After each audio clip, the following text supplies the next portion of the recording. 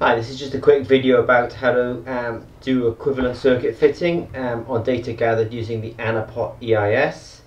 Um, it's, I think it's quite straightforward. So um, what we'll do is we'll just grab um, some data quickly.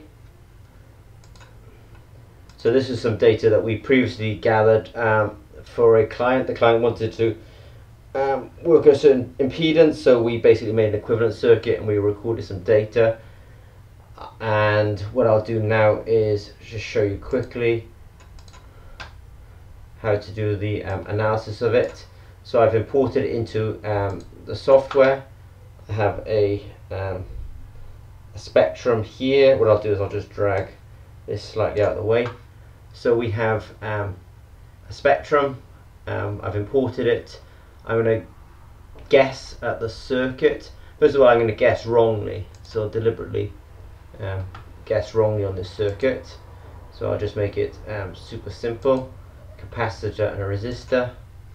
And I'll tell it to fit. And um, we've got the real data and then the fitting. And you know they clearly don't match.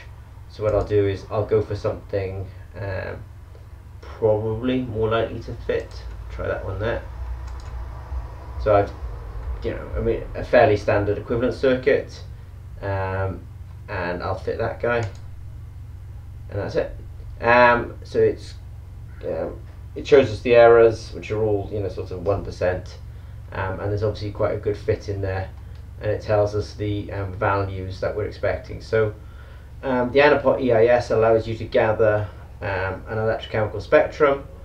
And then you can quickly take the raw data do an equivalent circuit, do fitting, do simulation Okay, so that's only a quick intro, but um, I hope that's um, at least useful. Alright, if you've got any questions, simple, don't hesitate to contact us at Zimmer and Peacock.